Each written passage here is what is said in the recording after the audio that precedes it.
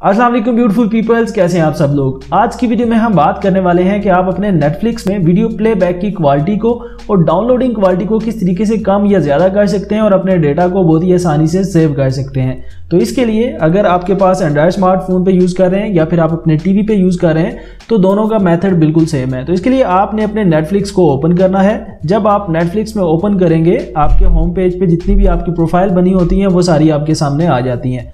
तो जिस भी प्रोफ़ाइल में आप जो आपका प्लेबैक क्वालिटी है, उसको कम या ज़्यादा करना चाहते हैं, उसमें आपने लॉगिन कर लेना है। लॉगिन करने के बाद यहाँ पे टॉप राइट साइड कॉर्नर में आपके पास प्रोफ़ाइल आइकन होता है। इसके ऊपर जब आप क्लिक करेंगे तो आपके पास इस तरीके से एक पेज ओपन होके आ जाएगा।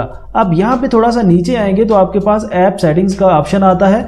यहाँ पे सबसे पहला ऑप्शन है वीडियो क्वालिटी तो इस वीडियो क्वालिटी में आप वीडियो प्लेबैक को बहुत ही आसानी से कम या ज़्यादा करके डेटा को सेव कर सकते हैं. फॉर एग्जांपल अगर ये प्रोफ़ाइल आप बच्चों के लिए यूज़ कर रहे हैं तो यहाँ पे आप उनकी जो प्लेबैक क्वालिटी है उसको थोड़ा सा कम कर सकते हैं और अपने लिए आप एचडी या फिर आप अल्ट्रा एचडी जो भी आपका प्लान है, जो आपने सब्सक्रिप्शन ली हुई है, उसके मुताबिक आप उसको कर सकते हैं.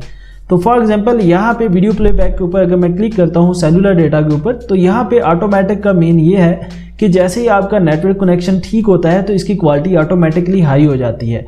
और अगर आपका नेटवर्क कनेक्शन थोड़ा सा वीक होता है तो इसमें प्लेबैक क्वालिटी थोड़ी सी कम हो जाती है। तो इसमें आपका जो डेटा है, वो बहुत ज़्यादा यूज़ होता है। तो फॉर एग्जांपल अगर आप इसमें से कम करना चाहते हैं, आपने इस ऑप्शन को डिसेबल करना है। डिसेबल करने के बाद आपने वाईफाई ओनली करना है। जब आप वाईफाई ओनली करेंगे तो आपकी जो प्लेबैक क्वालिटी है, वो एचडी में चली जाएगी और आपका जो डेटा है, वो इतना ज़्यादा सेव नहीं होगा। यहाँ पे आप अपने लिए जो आप, अगर आप एचडी में करना चाहते हैं स्ट्रीम तो आप वाईफाई ओनली को सिलेक्ट कर सकते हैं। अगर आपके पास वाईफाई अवेलेबल है। अगर आप यहाँ पे सेव डाटा पे करेंगे तो यहाँ पे आपका डाटा बहुत ही ज़्यादा सेव होगा।